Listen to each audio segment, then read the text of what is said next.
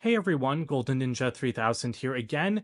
Today I'm showing off my LEGO Winter Village collection. I have every set that the LEGO group has produced in this series since 2020, and this is one of the most popular like AFOL sub-themes, just like modular buildings, except I don't really make a lot of videos on it.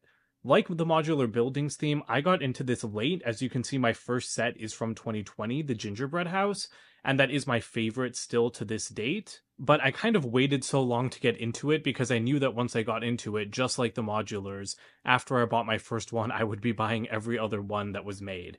And that's exactly what's happened. So it is past Christmas because we're coming into the end of January now, but it's still technically winter. So I wanted to finally build these because until two weeks ago, I had not built one of these sets since 2020. So, apart from the gingerbread house, which is actually a 2019 set, but I built it in 2020, which is when I bought it, we have the Elf Clubhouse, which was the actual 2020 set, Santa's Visit from 2021, Holiday Main Street from 2022, and then the latest one is the Alpine Lodge from 2023. And I also threw in a gift with purchase set and the Santa's Sleigh set just to kind of set up this scene, but I didn't include any of the other accessories because it would make this area too cluttered, and I have a specific way I'm going to display these in my apartment. So I definitely don't have the traditional Winter Village experience because I don't build one of these a year. Like I said, I did Elf Clubhouse, Santa's Visit, Holiday Main Street, and the Alpine Lodge all one after another in like the last week. It was just like not even week, it was 3 days. I built two of them in one day and then I built the other two on one day each. So yeah, I was kind of speeding through them, but they're really great sets. I like the little village setup I have going here. Gingerbread House and Elf Clubhouse are a little bit more fantastical because they are like kind of North Pole set. You know, one's a candy house with sentient gingerbread people. And then the other one is where the elves live in the North Pole. And I really wish I had the Santa's Workshop set too, because that is the first Winter Village set that ever caught my attention. And while I unfortunately didn't get it in 2014, I really hope we see like a larger remake of it sometime soon. I also really like the Winter Holiday Train, so I'm sad I didn't get that because that one's pretty expensive on the aftermarket. But then going into the regular sets, we have Santa's Visit, which I didn't like love when it was revealed, but I actually really, really like it in person. Then we have Holiday Main Street, which is the most different because it kind of looks more like a city building than a holiday, like Winter Village building. And then we have the Alpine Lodge, and that's one that I also didn't pay a lot of attention to when it was revealed. But after one of my coworkers built it and I saw it in person, I really, really loved it. And also, this is a great time to remind everyone that I am an employee of the LEGO group. However, all opinions expressed in these videos are my own and do not necessarily reflect the views of the LEGO group. And LEGO is a registered trademark of the LEGO group of companies, which does not sponsor, authorize, or endorse this site. So I've decorated the center of this scene with a couple of things. This tram comes from the uh, Holiday Main Street set, so it's kind of blocking the view of the Elf Clubhouse. So I'm just gonna kind of roll that off screen. Then, like I said, I do have the Santa's sleigh set, which came out in 2021, and I still think that this is one of the greatest like $35 Lego sets ever made. It's just so perfect. It's incredible, and of course, it fits perfectly in the Winter Village but we'll also take that out. And then I threw in that gift with purchase, like this holiday carriage ride thing, because I think it's just so cute and obviously also fits in perfectly with a winter village scene. So the gingerbread house is still my favorite set. It's just so perfect to me. I love the more fantasy aspects of it compared to like just the regular cottages and stuff we're used to seeing from the Winter Village theme. And all of the furniture inside is just so cute because it's all made of candy, like the bed, the like doorknobs for the dresser. You have like the bathtub full of chocolate. And this one's light brick because all of these sets have a light brick. I think that that's a known feature of Winter Village sets, except for Holiday Main Street. But it lights up the fireplace on the inside of the house, and then it also lights up the fireplace on the outside. So I think that that's pretty clever. I was on the fence about getting the Elf Clubhouse back in 2020, and it is not one of my favorites. I don't love the look of it compared to the look of some of the other sets. I don't know what it is. Maybe it's just the fact that it's so tall in the center and then just like really steep on the sides. But it's just it's not my favorite like design architecturally speaking. But it does have some really cool features. I love the reindeer that came with this set It was the first time that piece appeared in a regular color after being introduced in the Harry Potter theme. And then at the back, there were some cool features. So you have the light brick up at the top. Whoops, I was pressing it the wrong way, but it illuminates like the bedroom for the elves. And I really love this. You can put like three elves in bed. Oh, it, it fell out, but there's supposed to be a feature to make them tip out of bed. So I thought that that's really fun. There's a little workshop. There's a little like almost like cafeteria. And there is a cool play feature with this waffle machine, which is actually on like a hinged chimney.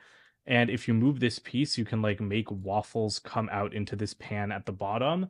And that's just a really awesome play feature. Santa's Visit is my favorite of the regular Winter Village sets. I just love the color scheme and I really like the shape of this house. Even though it does have that steep roof again, I just I love the way it looks. I love like the snow-capped tree.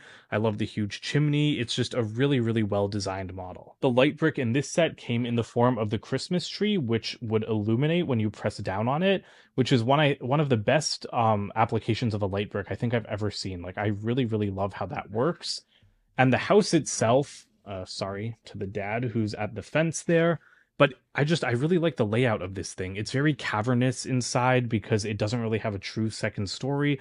It just has one little bedroom off to the side there but i love like the huge banquet table in the center.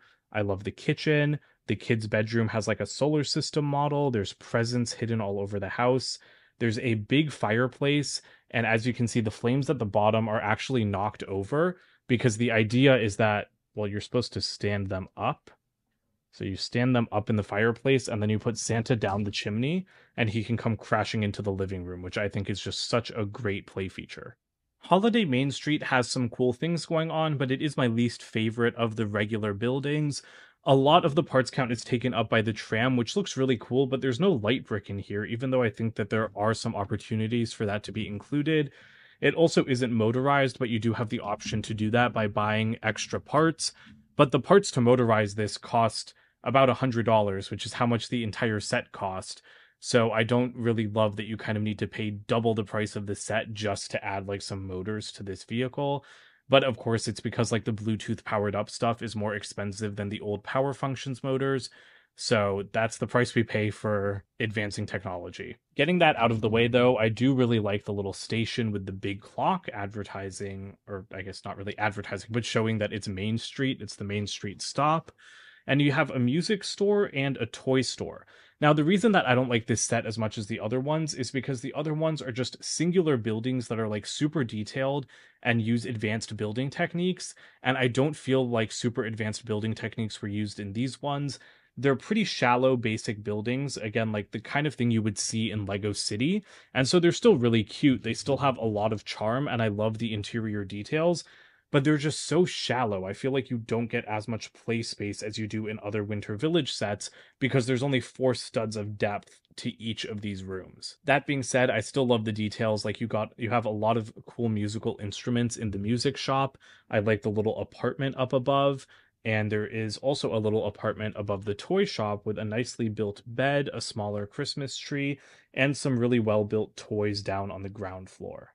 And finally, we have the Alpine Lodge. This is not the entire set. It did come with like a couple other minifigures and an outhouse, but I really just wanted to talk quickly about the buildings here because I've never talked about them before.